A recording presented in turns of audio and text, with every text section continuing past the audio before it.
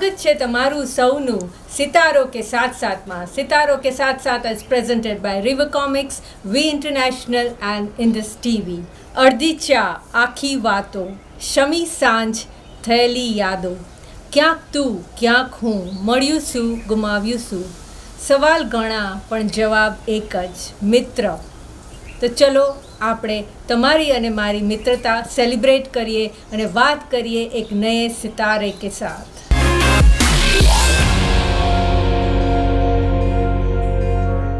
નમસ્કાર દર્શક મિત્રો, કાર્યક્રમમાં આપ સૌનું સ્વાગત છે. આજે આપણે હટીસિંગ વિઝ્યુઅલ આર્ટ સેન્ટરમાં છીએ. અમદાવાદનું લેન્ડમાર્ક હટીસિંગ વિઝ્યુઅલ આર્ટ સેન્ટરના કાફેમાં છીએ અને આપણે મળશું બહુ જ ડાયનામિક ગુજરાતી ફિલ્મ ઇન્ડસ્ટ્રીના એક્ટર આરજવ ત્રિવેદીને. આરજવ ત્રિવેદી કોણ છે? તો Hellaro film national award winning ફિલ્મના હીરો છે. એના એક્ટર છે. એની સાથે જે આપણે બહુ જ રસપ્રદ વાતો કરશું.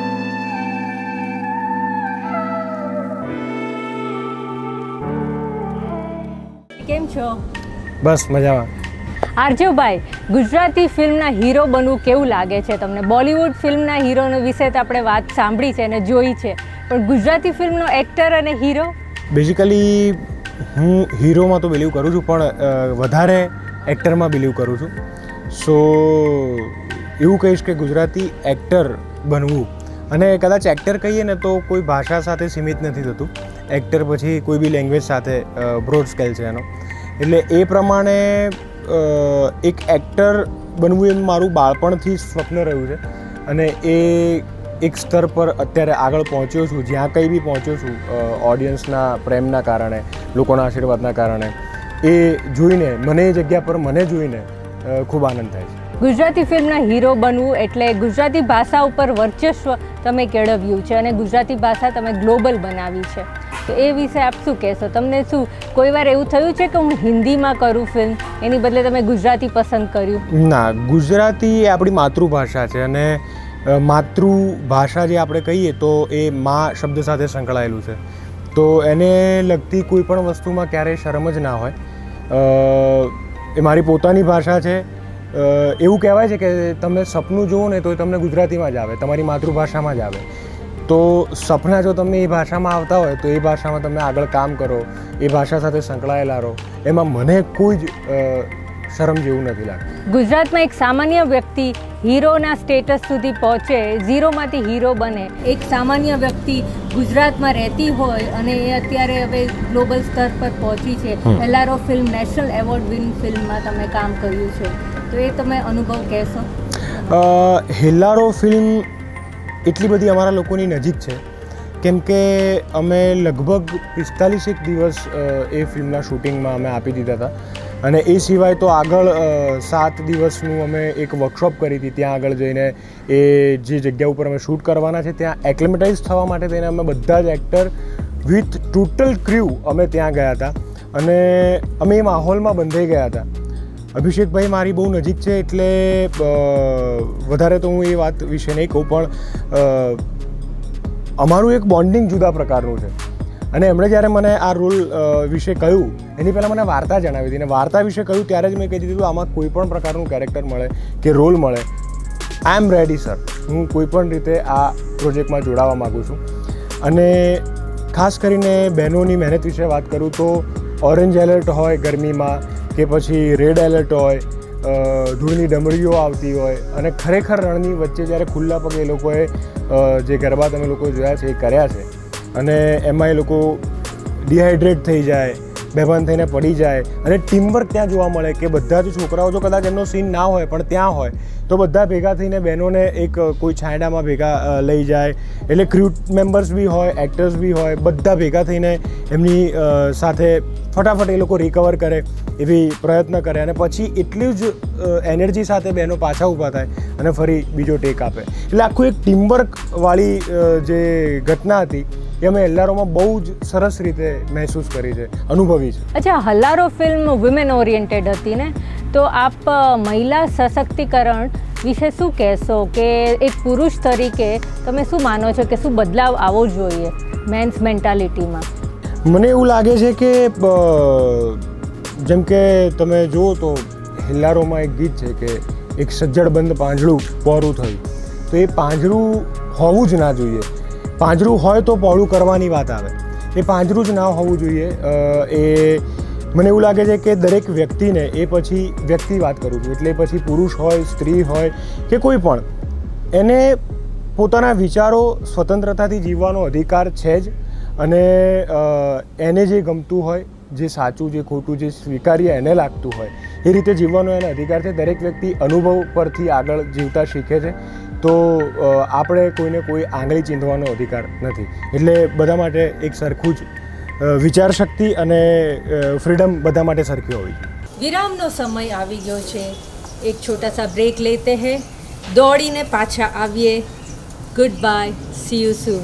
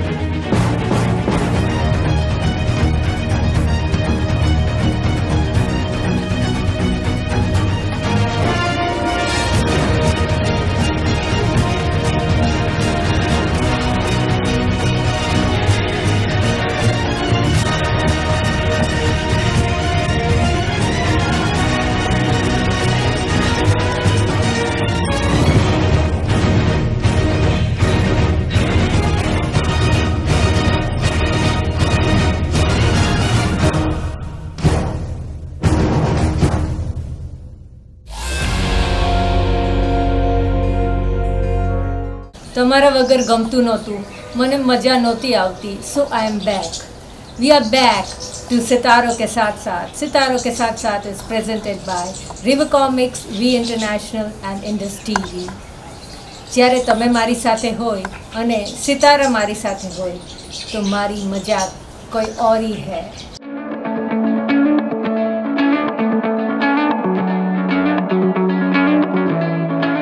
અત્યારના નવયુવાનને બધાને હીરો બનવું હોય છે, બધાને એક્ટિંગ કરવી હોય છે અને ફિલ્મમાં જવું હોય છે. તો એના માટે આપણી ટિપ્સ કઈ? એક્ટિંગ શું બહુ અઘરી છે? યસ ઘણા લોકોને એવું હોય છે કે આ બહુ ઇઝી કામ છે. બસ કેમેરા સામે આવીને કે એવી રીતે ઓડિયન્સ સામે આવીને એક્ટિંગ કરીને જતા રહેવાનું. પણ જ્યારે એ એક હજાર માણસો તમે સ્ટેજ ઉપર પરફોર્મ કરતા હોય સામે હજાર માણસ, સો માણસ, બસો માણસ બેઠું હોય અને ત્યારે કોન્ફિડન્ટલી તમારે એ ડાયલોગ્સ બોલવાના છે. તમે જે કરો છો, જે બોલો છો, એ જ વસ્તુ સાચી છે એવું એ હજાર કે સો માણસોને સ્વીકાર્ય કરાવડાવવાનું છે કે તમે કહો છો એ જ સાચું છે. તો એ બધી જે પ્રોસેસ છે ને કેરેક્ટર્સ ચેન્જ કરવા, તમારે, તમે ના હોવ એવા તમારે બનવું, આ બધી વસ્તુ બહુ જ ડિફિકલ્ટ છે. એટલે કશું જ ઇઝી છે નહીં. તમારા શરીર ઉપર તમારે સતત કામ કર્યા કરવું. એટલે આ ગ્લેમર વર્લ્ડ જે કહેવાય છે, એ બહારથી બહારથી તમને એટલું ચળકતું દેખાય છે. અંદરથી મહેનત એટલી જ છે, એટલો જ પરિશ્રમ અને એટલો જ પરસેવો પાડવાની વાત છે. એટલે જો તમારે લોકોએ આમાં આવવું હોય તો થિયેટરથી શરૂઆત કરે આજના યંગસ્ટર્સને મારા જેવા મિત્રોને અને મારાથી નાના જે માણસો છે ઉંમરમાં. એ દરેક માણસોને એવી સલાહ આપીશ કે થિયેટરથી તમે એક્ટિંગ લાઇનમાં કે પછી પ્રોડક્શન લાઇનમાં તમે કોઈ બી લાઇનમાં જવા માગતા હશો થિયેટર તમને બહુ જ મદદરૂપ થશે. તમે એન્જિનિયર બનશો તો બી તમને થિયેટર બહુ મદદરૂપ થશે. તો થિયેટરથી તમે શરૂઆત કરો એવી મારી તમને બધાને સલાહ રહે. આરજુભાઈ મારા દર્શક મિત્રોને તમારી લાઈફ જર્ની વિશે જાણવું ગમશે. થોડુંક જણાવો તો. હું સિનિયર કેજીમાં હતો ને ત્યારે ત્યારે ફર્સ્ટ ટાઈમ હું સ્ટેજ ઉપર ગયો હતો એઝ અ ડાન્સર અને સ્ટેજ ઉપર જવાની જર્ની મારી ત્યારથી થઈ. સિનિયર કેજીમાં હતો ત્યારથી. અને પછી કન્ટિન્યુઅસલી આઠમા ધોરણ સુધી મેં પરફોર્મન્સીસ કર્યા સ્ટેજ ઉપરના પછી ડોક્યુમેન્ટરીઝ કરી ટીવી સિરિયલ્સ કરી ઘણું બધું કર્યું. અને આઠમા ધોરણથી બારમા ધોરણ સુધી મેં સ્ટડી માટે ગેપ લીધો. અને બારમા પછી તરત પાછો ઉત્સવ નામની સંસ્થા હરીન ઠાકર જે ચલાવતા હતા. એમાં પાછો જોડાઈ ગયો અને ફરી મેં નાટકો કરવાના. શરૂ કર્યા. અને ત્યારથી લઈને મેં ઝેવિયર્સમાં નાટકો કર્યા, મેં મારું બેચલર્સ કર્યું છે ફિઝિક્સમાં ત્યાં આગળ યુથ ફેસ્ટિવલ છે આઈએનટી છે, એમાં નાટકો કર્યા. એના પછી હું ગયો ઉપાસના સ્કૂલ ઓફ પરફોર્મિંગ આર્ટ્સમાં માસ્ટર ડિગ્રી થિયેટરમાં કરવા માટે.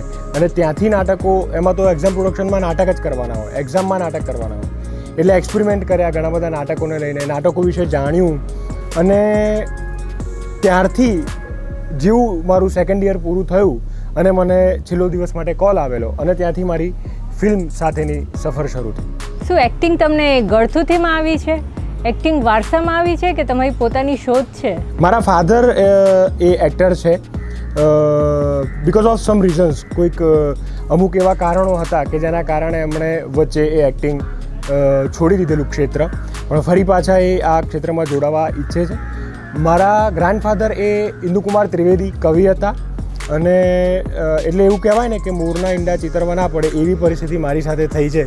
એટલે ગોડ ગિફ્ટેડ કહી શકાય કે પહેલેથી જ મારી સાથે, અને એવું પણ કહેવાય કે હું એ જ વાતાવરણમાં ઉછળ્યો છું. એટલે મને આ કલા ક્ષેત્ર સાથે મારું બોન્ડિંગ પહેલેથી રહેલું છે. અચ્છા, આરજુભાઈ, તમારે બહુ બધા ફોલોઅર્સ ને બહુ ફેન્સ છે. તો ફેન્સ અને ફોલોઅર્સના કંઈ અનુભવ કહેશો અને એક સેલિબ્રિટી બનવું તમને કેવું લાગે છે? ફેન્સ ઇન્સ્ટાગ્રામ પર હોવા એ જુદી વસ્તુ છે, એ વર્ચ્યુઅલ દુનિયા થઈ જાય છે. અને તમને ખરેખર ઘણી વખત જ્યારે મળીને એ જ ઇન્સ્ટાગ્રામમાં તમને ફોલો કરતા કે ફેસબુક પર ફોલો કરતા ફેન્સ તમને જ્યારે ખરેખર રિયલ લાઈફમાં આવી રીતે કોઈ કેફેઝમાં કે ક્યાંક તમને મળી જાય, અને એમનો જે ઉત્સાહ અને જે પ્રેમ જોઈને આનંદ થાય છે આરજુભાઈ આજથી પાંચ વર્ષ પછી તમે તમારી જાતને ક્યાં જુઓ છો? આજથી પાંચ વર્ષ પછી એક શિખરની ટોચ પર પહોંચવું હોય દરેક જણને. જ્યારે તમે શિખર ચડવાનું શરૂ કરો ત્યારે. તો આમાં શિખરની ટોચ તો કલાક્ષેત્રે ક્યાંય હોતી નથી. એ અવિરતપણે ચાલતું જ હોય છે, અનંત હોય છે. કલામાં તમે ક્યારે પૂર્ણ પારંગત નથી થઈ શકતા. કોઈ પણ પ્રકારની કલા હોય. તો કંઈ બાંધ્યું નથી કે ક્યાં જોવા માગું છું. પણ હા અંદરથી એવી ઈચ્છા છે કે કોઈ હોલિવૂડની ફિલ્મ મળે અને સરસ એમાં પરફોર્મન્સ કરવાનો ચાન્સ મળે. અને કશું નહીં તો ઓસ્કાર એવોર્ડનો જે સમારંભ થાય છે ત્યાં એ લિજન્સ વચ્ચે બેસવાનો મોકો મળે. એવી મારી ઈચ્છા છે. તો બહુ જ સરસ વાત કરી તમે. અચ્છા અને બોલિવૂડ પાઇપલાઇનમાં ખરું? હા બોલિવૂડ પાઇપલાઇનમાં ખરું. બોલિવૂડમાં ઘણા બધા કામ પણ કર્યા. જેમ કે હમણાં બિગ બુલ કરીને એક અજય દેવગન પ્રોડક્શનની ફિલ્મ છે, એની અંદર એક નાનો રોલ કરવા મળ્યો છે. એ સિવાય મંટોમાં પણ મને એક રોલ કરવા મળ્યો હતો. અને એવી રીતે ઘણા બધા પછી સમીર કરીને એક ફિલ્મમાં મેં કામ કર્યું છે. એટલે બોલિવૂડ સાથે હજુ વધારે કામ કરવાનો ઈચ્છા તો ખરી, પણ સાથે સાથે કર્યો છે એનો અનુભવ બી ખરો. એક નાનો બ્રેક લઈએ અને ફરી પાછા મળીએ સિતારો કે સાથ. Ladies and gentlemen, put your hands together for We International founder, president, chairman, Mr. Bharat Goradia, Bollywood star.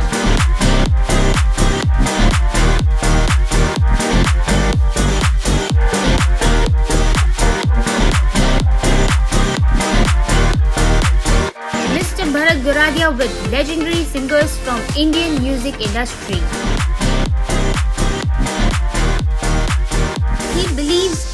Spreading smiles over everyone's faces. Sports champion.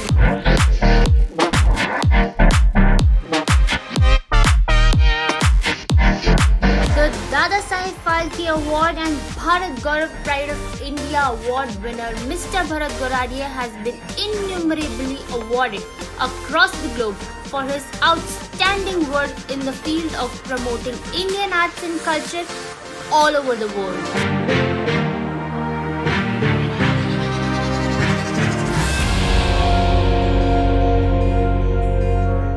આવી ગઈ ને જલ્દી ચલો ફરી પાછી વાત કરીએ આરજવ ત્રિવેદીને સાથે વેલકમ બેક ટુ સિતારો કે સાથ સાથ Sitaro ke Saath Saath is presented by River Comics V International and Indus TV let's talk to Aarjav Trivedi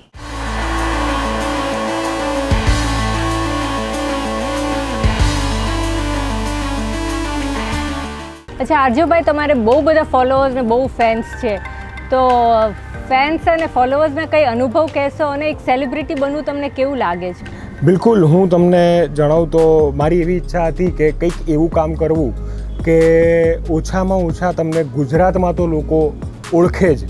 એટલે છેલ્લે, એટલે જ્યારે તમે ના હોવ ત્યારે ગુજરાતમાં તમને લોકો ઓળખતા હોય કે ના, આવો કોઈક માણસ હતો. એવું કોઈક કામ, કોઈ બી ક્ષેત્રે કરવું. તો લકીલી મને આ કલાક્ષેત્રમાં મને જે ગમતું હતું એ જગ્યા પર આગળ કામ કરવાનો મોકો મળ્યો.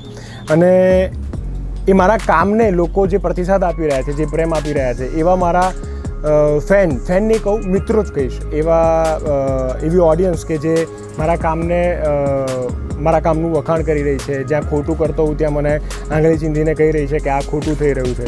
તો એવા ફેન્સ આમ વર્ચ્યુઅલ દુનિયામાં ફોલોઅર્સ તમને મળતા હોય. પણ જ્યારે એ રિયલ લાઈફમાં તમને તમારી સામે આવે, જેમ કે આ કેફેસ છે કે એવી કોઈ જગ્યા ઉપર તમને એકદમથી મળી જાય, ત્યારે એમનો જે ઉત્સાહ અમને મળ્યાનો અને અમે એમને મળ્યા છે, એ અમારો અલગથી ઉત્સાહ હોય છે. પણ એ જે ઉત્સાહ હોય છે, એ જોવાની બહુ જ એક જુદી મજા હોય છે અને એક સેટિસ્ફેક્શન હોય છે કે ના, આપણે એવું કોઈ કામ કર્યું છે, જેના કારણે આપણા આવા મિત્રો કે જે આપણને કદાચ ક્યાંય આપણે મળ્યા નથી, ક્યાંય ઓળખતા નથી, પણ એ વ્યક્તિને આપણને મળવા માટે એક એને અંદરથી કહેવાય ને કે એક્સાઇટમેન્ટ છે બહુ જ બધું. એટલે એ જોઈને બહુ જ મજા આવે છે. પણ તોય તમારી જાતને ગ્રાઉન્ડેડ કેવી રીતે રાખી શકો? ગ્રાઉન્ડેડ રાખવા માટે મારા સરે મને એવું કહ્યું હતું કે નિમેશ દેસાઈ એમણે મને એવું એક બહુ સરસ લાઈન આપી હતી કે જો તમારે સારા એક્ટર બનવું હોય ને તો તમારે સારા માણસ બનવું બહુ જરૂરી છે. એટલે હું સતત એ પ્રયત્ન કરું છું કે હું એક સારો માણસ બની રહું અને કોઈને મારા કારણે કોઈ પ્રકારની તકલીફો ના પડે. એવો પ્રયત્ન કરતો હોઉં છું. તો આપોઆપ સારા માણસ બનવાના પ્રયત્નમાં ગ્રાઉન્ડેડ રહેવાય છે. અચ્છા તમે તમારી લાઈફમાં રિયલ લાઈફમાં કેવા છો? કેટલા જુદા છો એક્ટર તરીકે હીરો તરીકે દર્શકોને એક રિયલ લાઈફમાં હું એકચ્યુઅલી એવું જ હોય કે રિયલ લાઈફ અને રિયલ લાઈફ બહુ જ જુદી હોય છે. એક ઇન્ટરવ્યૂમાં કદાચ તમે બધાએ જોયું હશે નવાઝુદ્દીન સિદ્દકી સાહેબના ઇન્ટરવ્યૂમાં એમણે જણાવ્યું હતું કે એક એક્ટર છે ને, એ ક્યારેય નોર્મલ નથી રહી શકતો. એ ખાલી કદાચ એના બાથરૂમમાં નોર્મલ હશે. એની સાથે, પોતાની સાથે વાત કરતો હશે. એ એટલા સમય દરમિયાન એ નોર્મલ હશે. બાકી એ બધી જ જગ્યાએ, અત્યારે હું જે કરું છું, એ બી પરફોર્મન્સ જ છે.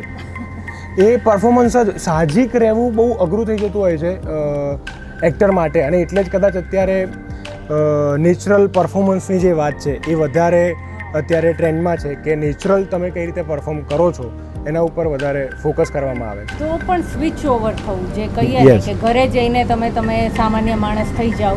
એ કેવી રીતે થાય છે? શું તમે એ ટ્રોમામાં રહ્યો છો? ના. એકચ્યુઅલી બે ત્રણ પ્રકારની જુદી જુદી મેથડ હોય છે લોકોની. એમાંથી હું સ્વિચ ઓન સ્વિચ ઓફ જેવી મેથડનો ઉપયોગ કરતો હોઉં છું કે જ્યારે એક્શન બોલાય એટલે એ કેરેક્ટરમાં અને કટ એટલે હું આરજો કેમ કે એનું એવું પણ છે કે જો એ ઇમોશનમાં રહીને તમે અમુક કલાકો કાઢી નાખો, તો એ પછી તમારા, એ મારી આરજવ તરીકેની જે જિંદગી છે, એમાં મને તકલીફરૂપ થઈ શકે છે. એવો કોઈ ઇમોશનલ સીન સીન છે કે જે મેં બહાર કર્યો ત્યાં કેમેરા સામે. અને પછી એ મૂડમાં જ, એમાં જ હું રહું, તો એના પછી કદાચ મારે એવી કોઈક સરસ મુમેન્ટ પર જવાનું છે મારી અંગત જીવનમાં, તો હું એમાંથી બહાર ના આવી શકું ને એ હું કન્ટિન્યુ ના કરી શકું. એટલે હું સ્વિચ ઓન સ્વિચ ઓફ વાળી ઘટના વધારે ફોલો કરું છું. બહુ સરસ. અને તમારો ફેવરેટ હીરો કોણ? બોલિવૂડમાં? બોલિવૂડમાં ફેવરેટ એક્ટર કહું તમને. ઇરફાન ખાન નવાઝુદ્દીન સિદ્દીકી નસીર સાહબ અમિતાભ બચ્ચન બહુ બધું લાંબુ લિસ્ટ છે. અચ્છા શું ઇન્સ્પિરેશન લેશો એમના તરફથી? એ બધા શું તમને ચેન્જ કરવું ગમે? તમારી સ્ટ્રેન્થ ને વીકનેસમાં યસ સતત કંઈકનું કંઈક નવું શીખતા રહેવાની જે જીજીવિષા એ લોકોમાં હોય છે. અમિતાભ બચ્ચન સરની વાત કરીએ, તો હમણાં પંચોતેર વર્ષે વચ્ચે આવ્યું હતું કે એ વીણા શીખી રહ્યા છે. તો આ ઉંમરે પણ કંઈક શીખતા રહેવું એ જે એમનામાં જિજ્ઞાસા છે કે કંઈક આગળ કરતા રહેવાની જે ઓછું ઊંઘીને સતત કામ કરવું, આ ઉંમરે કેટલા એનર્જીમાં કામ કરે છે. તો એ પછી એમને કેટલી બધી ભાષાઓ આવડે છે. એટલે ઘણું બધું એમ લોકો પાસેથી તો ઇન્સ્પિરેશન તો બહુ બધું લેવા જેવું છે. આ ખાલી અમિતાભ બચ્ચન સરની વાત કરી. ઇરફાન સર છે. ઘણા બધા એવા એક્ટર્સ છે કે જેમની તમે ખાલી એમને, તમે એમને ખાલી નિહાળો ને પરફોર્મ કરતા, એ ઇન્ટરવ્યૂ આપતા હોય, કા, તો એ ખાલી આમ તમારી આગળથી પસાર થઈ જાય. તો બી તમને ઘણું બધું જોવા મળે કે ના, આમની વોકમાં શું છે? એ એ ઓબ્ઝર્વેશનની વાત છે. આમની વોકમાં શું છે? એમનું પર્સનાલિટી શું કહે છે? એટલે એ ઘણું બધું શીખી શકાય એવું છે. આરજુભાઈ, તમારે ફિલ્મ ઇન્ડસ્ટ્રીમાં કોઈ નેગેટિવ એક્સપિરિયન્સ ખરો? કેમ કે અત્યારના પેરેન્ટ્સને બધાને એવું હોય છે કે ફિલ્મ ઇન્ડસ્ટ્રીમાં મારા છોકરાઓ જશે, એટલે બહુ જ નેગેટિવ ઇમ્પ્રેશન છે. તો એ વિશે તમે સહેજ હકીકત કહેશો? યસ નેગેટિવ કોઈ મને અનુભવ નથી રહ્યા. અને જો એવું કહીએ તો ફેમિલીમાંથી તો મને પહેલેથી જ સપોર્ટ હતો કે તમે મારે જે કરવું એ હું કરું એમ. એટલે દસમા પછી પણ મને કહેવામાં આવ્યું હતું કે તારે આ લાઈનમાં આગળ વધવું હોય તો ડિપ્લોમા કરી લે. બારમા પછી પણ મને એવું કહેવામાં આવ્યું હતું કે હવે તું સાયન્સ છોડીને તારે આર્ટ્સ લેવું હોય તો આર્ટ્સ લઈ લે. અને કોલેજ પત્યા પછી પણ મને એવું જ કહેતા હતા કે તું, એટલે હું લંડન રાડા યુનિવર્સિટી માટે અપ્લાય કરવાના વિચારમાં હતો. તો ત્યારે બી મને ફૂલ સપોર્ટ હતો, એટલે મને ઘરેથી તો કોઈ રોકટોક છે જ નહીં અને હતી પણ નહીં. તો ત્યાંથી તો કોઈ નેગેટિવ મને એવા અનુભવ નથી અને હા, કામ કરતી વખતે પણ મને લકીલી બાય ગોડ ગ્રેસ એવું કહી શકાય કે મને કોઈ એ પ્રકારના નેગેટિવ અનુભવો રહ્યા નથી. ટીમ મેમ્બર્સ તરફથી કે કોઈ પણ તરફથી. So much thank you very much Aarjav Trivedi તમે અમારા મહેમાન બન્યા, તેના માટે ખૂબ ખૂબ આભાર. A special and a very big big big thank you to River Comics V International and Indus TV for giving us such a wonderful platform thank you so much